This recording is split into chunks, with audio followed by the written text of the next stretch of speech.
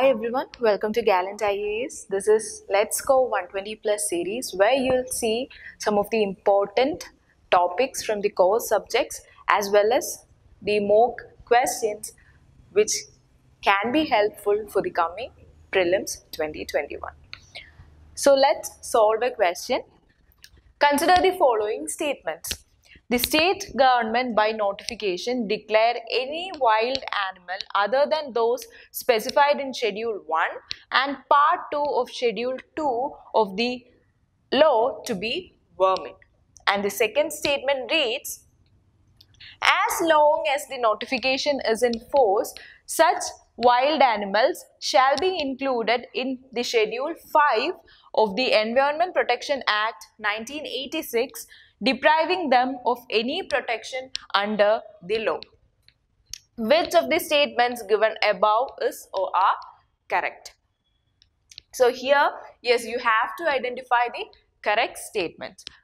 So the question is with regard to vermin, the vermin category. Okay, so any wild animal, okay, any wild animal which poses threat to humans as well as their livelihoods, they can be declared as vermin for performing selective slaughter. Okay especially if some animals they cause or they if they poses threat to the human livelihood like farming then they can be declared vermin under schedule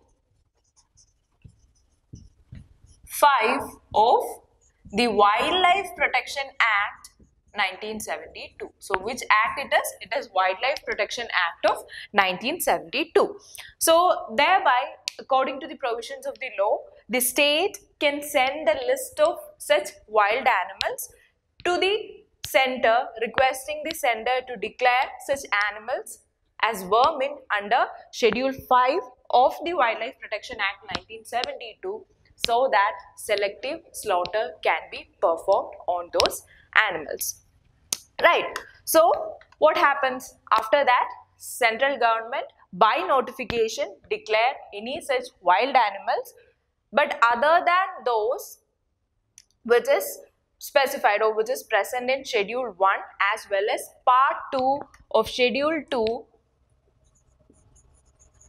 other than those present in schedule 1 and part 2 of Schedule 2 of Wildlife Protection Act 1972 to be vermin for any selected area for a given period of time. And as long as this particular notification is in force, these wild animals which are declared vermin, they will not be getting any protection or they will be devoid of uh, protection, any type of protection under the Wildlife Protection Act of 1972. So that is with regard to the vermin category. Right. Now let's look the question once more.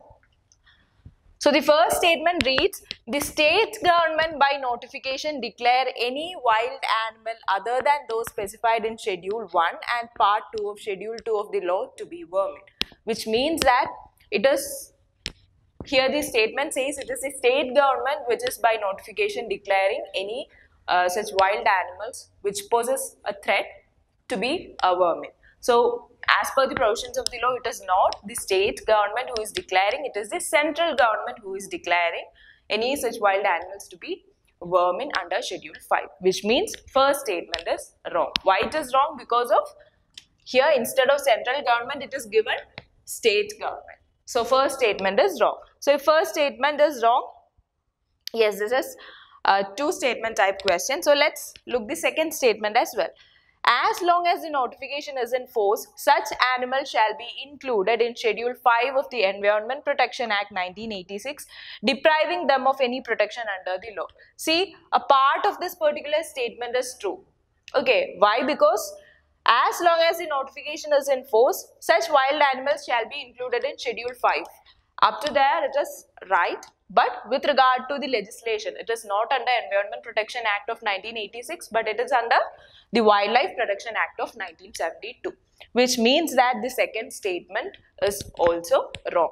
So here the question is asking about the correct statement. So here both the statements are incorrect which means you you'll go with the option D that is neither one nor two. So that's it for today. See you soon. Thank you.